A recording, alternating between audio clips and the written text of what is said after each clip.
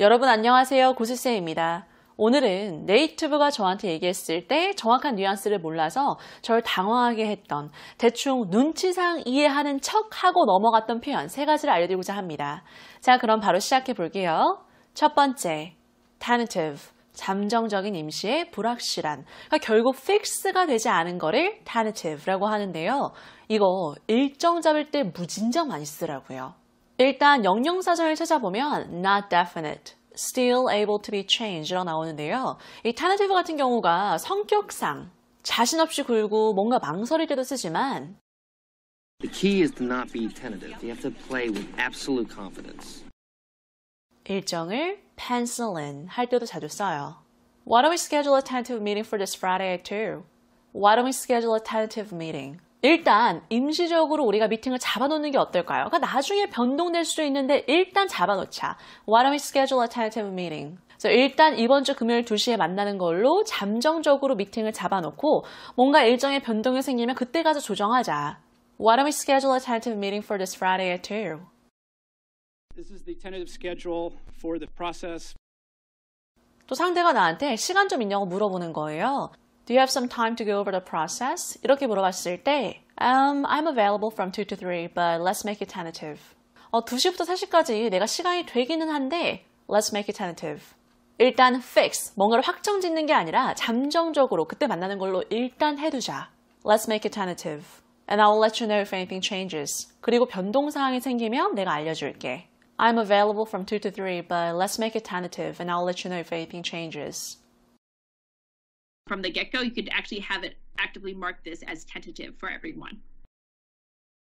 근데 일단 tentative, 요거랑 전부치기 쉬운 건 tentatively 이렇게 잠정적으로, 임시적으로 이렇게 부사로 외우는 게 훨씬 더 쉬운데요. 이것도 일정 잡을 때 자주 쓰니까 일정 잡을 때 위주로 예문 들어가 볼게요. Can we tentatively set some time this week? 일단 이번 주에 잠정적으로, 임시적으로 일단 일정을 잡아낼 수 있을까? Can we tentatively set some time this week? Tentatively set some time. 일단 임시적으로, 잠정적으로 시간, 일정을 잡아놓는 거죠. We have a third event that's tentatively planned for February.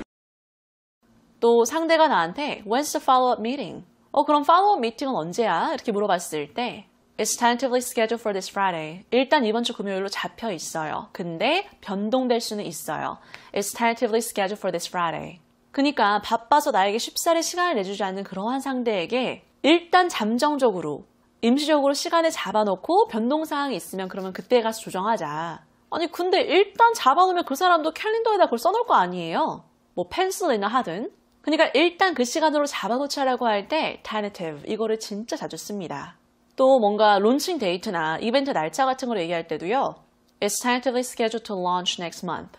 다음 달에 론칭되는 걸로 일단 일정이 잡혀져 있어요. It's tentatively scheduled to launch next month. I want to mention that we've tentatively scheduled the midterm for Wednesday, March 16th. 그래서 tentative, 잠정적인 임시에 fix 되지 않았을 때 tentative, 이거 꼭 기억해 주세요. 근데 제가 오늘 tentative를 실은 이유가 있어요. 물론 제가 이거를 회사에서 자주 들어봤지만 미드 Gilmore Girls를 보는데 tentative가 쓰인 정말 아름다운 장면이 나오더라고요. 이 여자분이 tentatively하게 일단 약속을 잡아놨는데 last minute 막판에 가가지고 이제 조정을 해야 되는 상황인 거예요. I know, I'm so sorry, but tonight was tentative, remember? I know, I'm so sorry, but tonight was tentative, remember? 아, 내가 진짜 미안한데 원래 오늘은 그냥 임시적으로 잡아놓은 날이었잖아. 그러면서 하는 말. Tonight wasn't set in stone. Tonight wasn't set in stone. Set in stone. 확정된. 이것도 꼭 외우기로 했잖아요. 돌에다가 뭔가를 새기는 것 자체도 힘들지만 돌에다가 새기면 쉽게 변경할 수 없기 때문에 Tonight wasn't set in stone. 오늘은 확정된 게 아니었잖아. 그러니까 여러분 우리가 pencilin 저번 주에 하면서 제가 set in stone 다시 한번 말씀드렸잖아요. 또 나오는 거를 보면 이 set in stone 네이티브가 무진장 많이 쓴다는 거. 그리고 회화가 되게 어려워 보이고 막연해 보일 수 있지만 일상에서 네이티브가 정말 자주 쓰는 건 돌고 돈다는 거. 계속 반복돼서 나와 있는 거. 그거는 진짜 확실히 알고 넘어가야 되는 것 같아요. 그리고 두 번째 표현. 이분이 일정을 조정해야 되는, 캔슬해야 하는 이유가 Things are really bad on my end. Things are really bad on my end. 여기서의 핵심 표현은 on my end 이건데요. 이거는 비즈니스 용어로 진짜 많이 쓰는 표현이기 때문에 어, 많은 분들이 이미 아시는 표현이라고 생각을 해요. 근데 혹시라도 모른다. 그럼 오늘 확실히 기억해 주셔야 됩니다.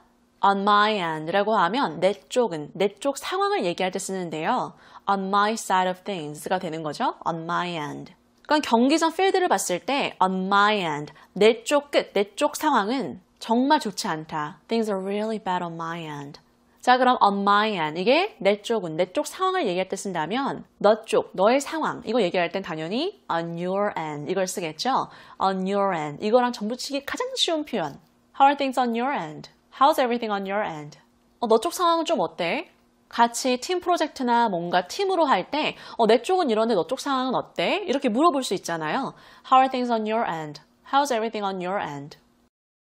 How are things going on your end? 그렇게 상대가 물어봤을 때, um, everything looks great on my end. 어, 내 쪽 상황은 다 좋아 보여. 내 쪽 상황은 다 좋아. Everything looks great on my end. Nothing wrong on my end, Linus. 또는 I took care of everything on my end. 어, 내 쪽 상황은 내가 다 처리했어. 그러니까 내가 할 부분은 다 처리했다는 거예요. I took care of everything on my end. Don't worry, I've been slacking on my end too. 그리고 하나 더 나아가서 우리 쪽 상황, 우리 쪽 이거는 on our end 이걸 쓰겠죠. Oh, everything's fine on our end. 어, 우리 쪽 상황은 좋아. Everything's fine on our end. 이렇게도 쓸 수 있다는 거. We've done everything that we could on our end. 그래서 on my end 내 쪽은 내 쪽 상황, on your end 너 쪽, 너 쪽 상황 이렇게 on my end, on your end 이것도 꼭 확실히 기억해 주세요. 비즈니스 영어에서 정말 자주 씁니다. 근데 아까 그 미드 길모어 걸스에서 Things are really bad on my end. 내 쪽 상황이 정말 안 좋다. 이렇게 얘기하면서 이어서 뭐라고 했냐? I'm dead tired. I have tons of studying to do. I'm dead tired. I have tons of studying to do. 라 그랬는데요. 여기서의 표현 하나 더. 이거는 뭐 약간 격식을 차린 상황에서 쓰이진 않은 표현이지만 dead tired. 근데 저 이거 처음 들었을 때 이 D-E-A-D, dead라고 생각하지 않고 부사 대시라고 생각했어요. I'm dead tired. 오, 이거 착각하기 진짜 쉽더라고요. 그래서 여러분이 아, 부사 대시 아니라 D-E-A-D 정말 죽은 여기에서는 정말 몹시 이 강조의 표현으로 dead가 쓰였다는 것을 꼭 기억해 주시면 좋겠어요. I'm dead tired. 아, 나 진짜 피곤해. 정말 피곤해. 근데 이 dead가 진짜 많이 쓰이는 짝꿍 단어가 있어요. serious. 어, 저는 이러한 비격식적인 표현을 잘 쓰지 않음에도 불구하고 I'm dead serious. 이거 진짜 많이 쓴단 말이에요.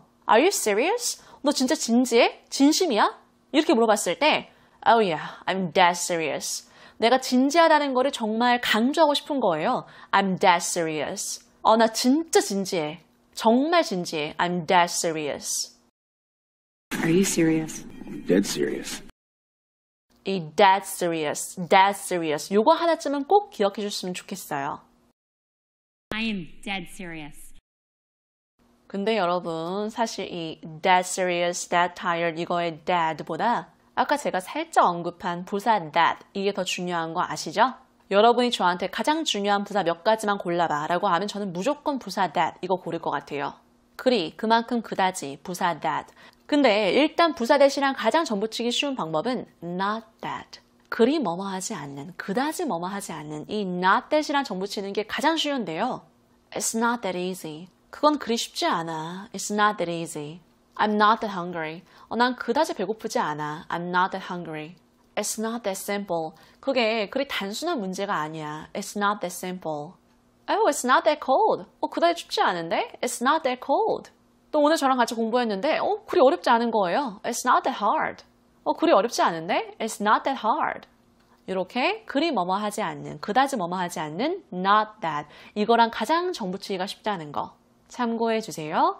사실 여러분 오늘 이 표현은 Gilmore Girls의 한 장면으로 들어갔는데 근데 이 장면에 정말 좋은 표현들이 막 쏙쏙 나와서 저도 놀랐어요. 근데 사실 이 장면은 비즈니스 영어나 딱딱한 회사 영어도 아니고 일상에서 그냥 이분이 얘기한 거와 다름이 없으니까 tentative on my end, dad 강조의 dad까지 꼭 확실히 기억해 줬으면 좋겠어요.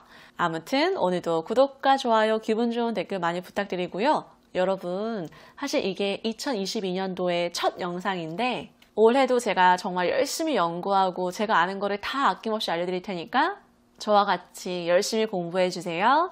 Bye guys!